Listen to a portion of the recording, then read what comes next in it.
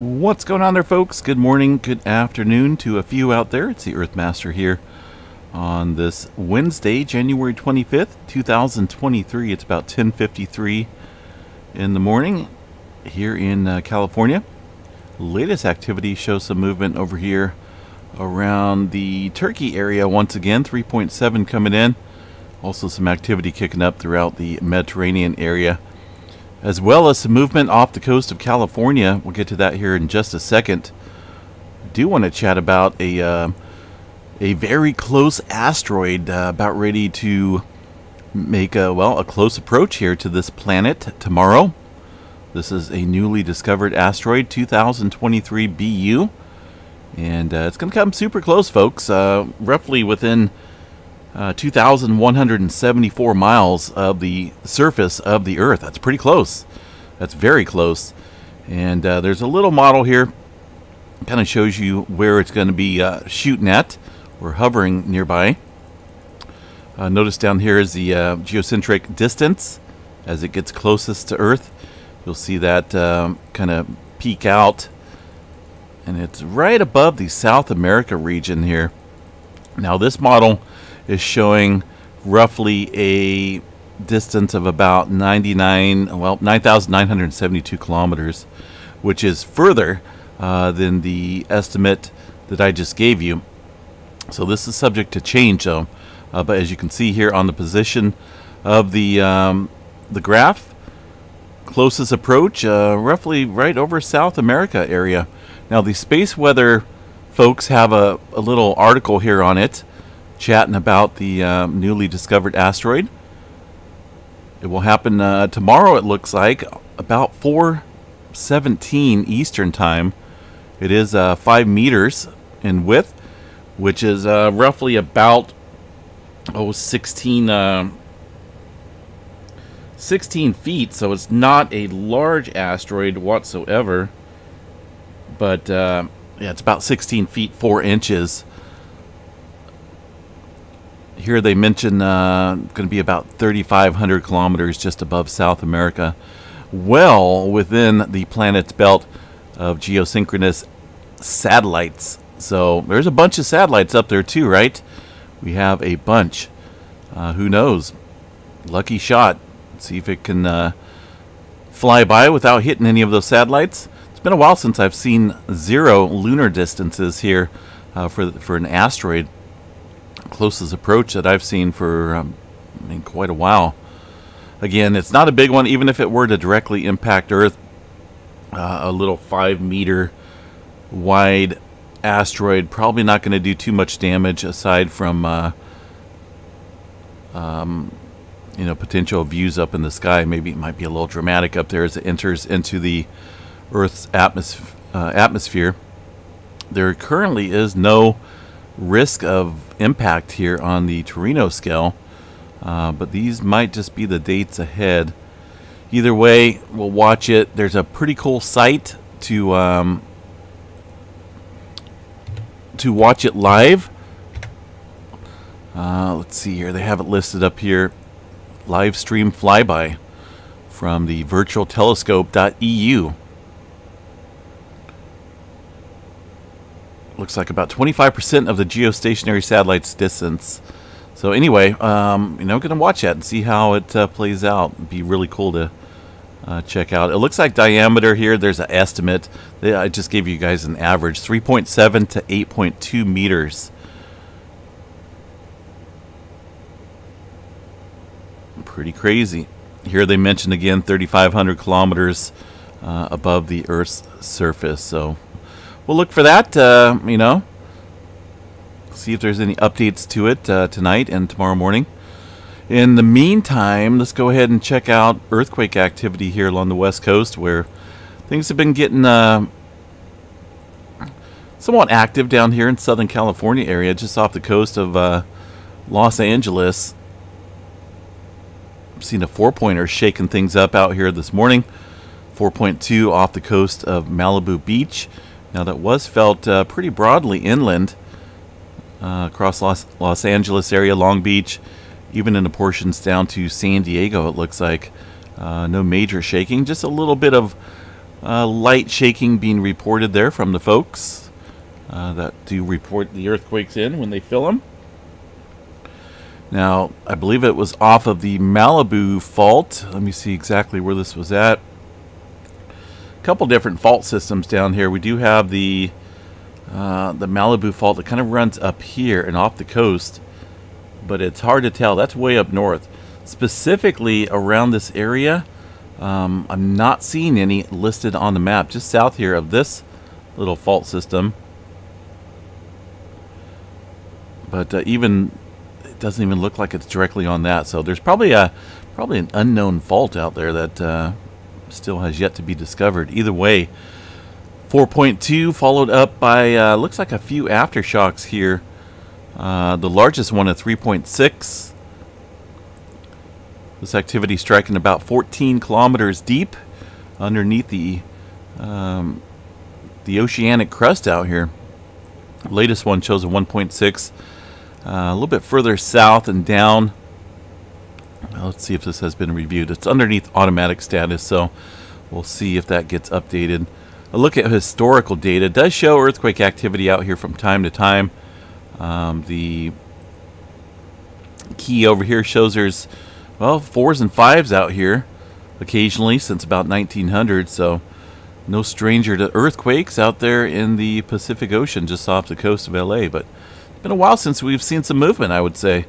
Uh, inland, the rest of California here uh, shows some a little bit of activity on the Elsinore Fault and also the San Jacinto Fault Zone. Uh, no major swarms, but we'll continue to watch this and see how it plays out uh, with any uh, further uptick. Bay Area up north, relatively quiet today. Got one earthquake around the Hayward Fault at 1.3. Nothing big. Up here in Northern California, of course, the uh, that never fails. The uh, Clear Lake volcanic field out here, latest quake of 2.2, coming in uh, about 2.4 kilometers deep. In Northern California, I believe this was from yesterday, which it was 2.7.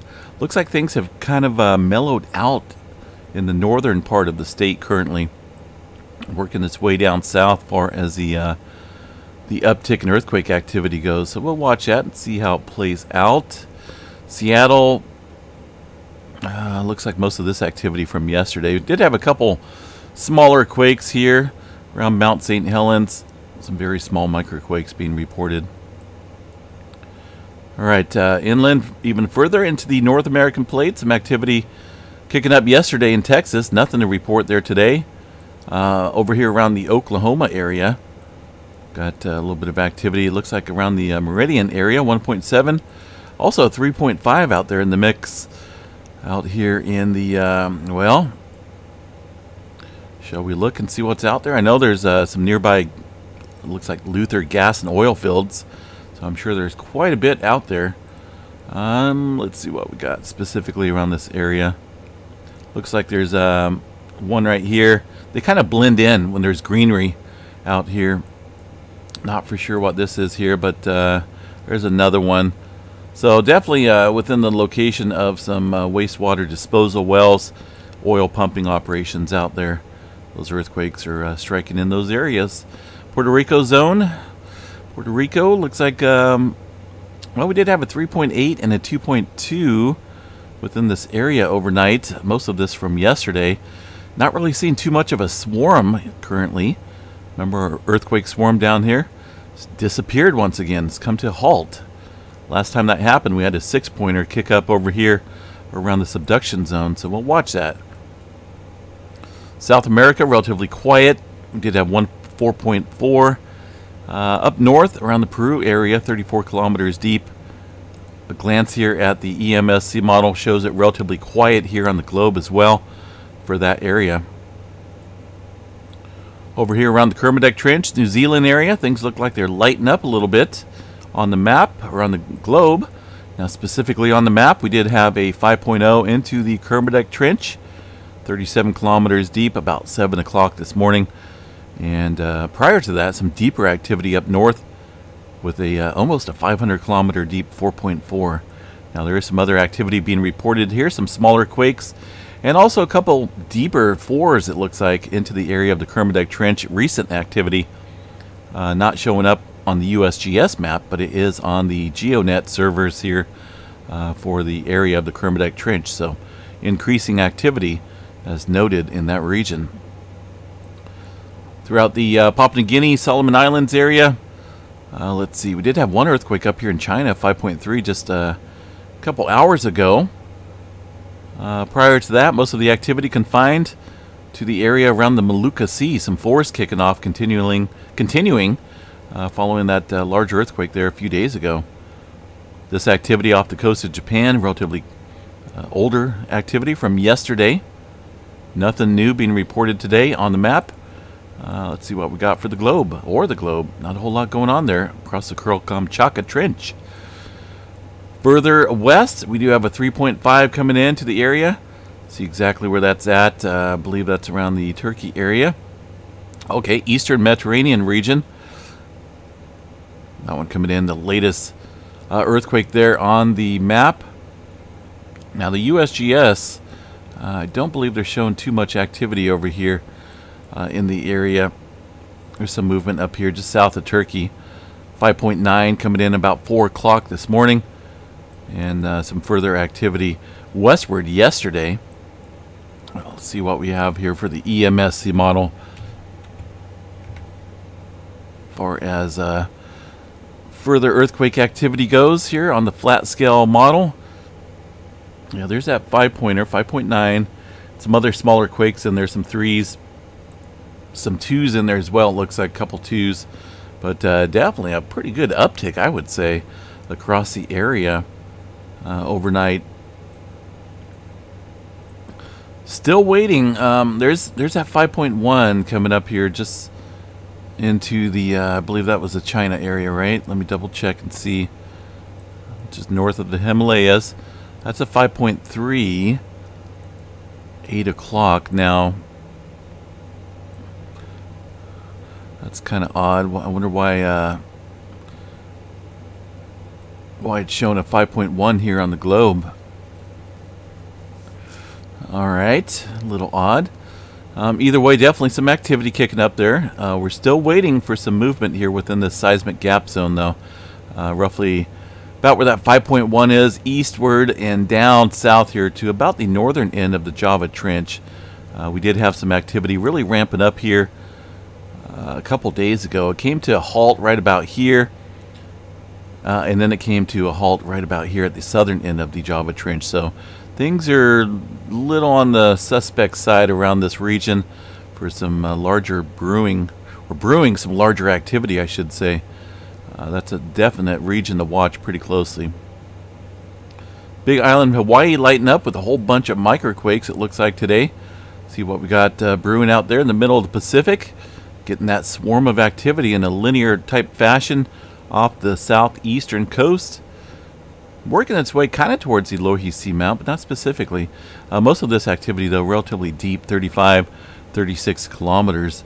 But it has been uh, been noticing this little migration of earthquakes out there. One earthquake off here on the west, 2.0, about 4.7 kilometers deep.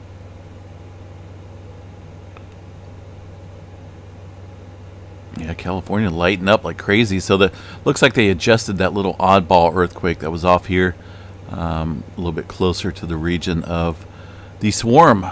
16 kilometers deep out there. Something, something brewing.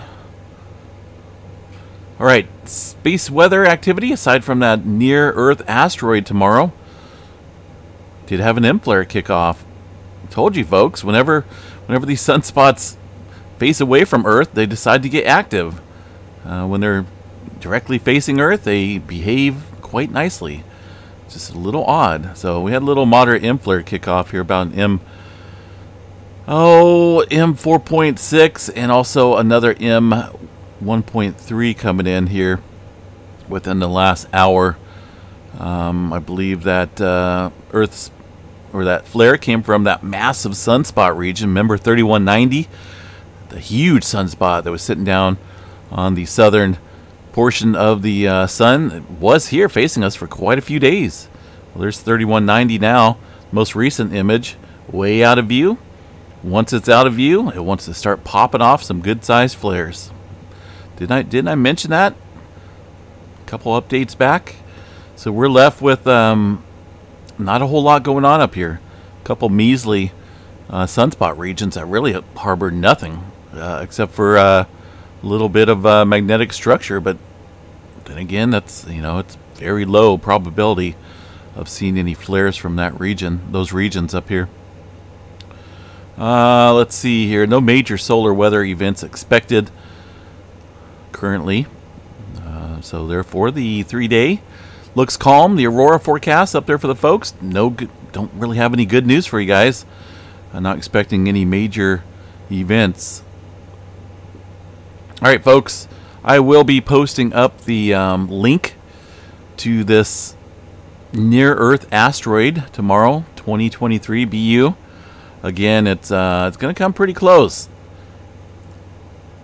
Looks like the Earth is uh, going to slingshot it a little bit with the gravitational pull. But I've always thought if, if it comes within a, you know, a, a, very close distance like that, that we could have it pull into Earth.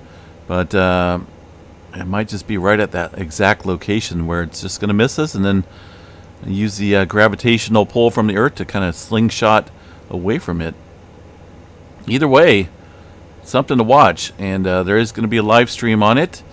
Again, I will provide that in this update video. Have a good Wednesday. Got to get back to uh, a whole bunch of school stuff. Yay! And uh, keep at it. Have a good one. We'll catch you guys a little bit later on tonight. Take care, everyone.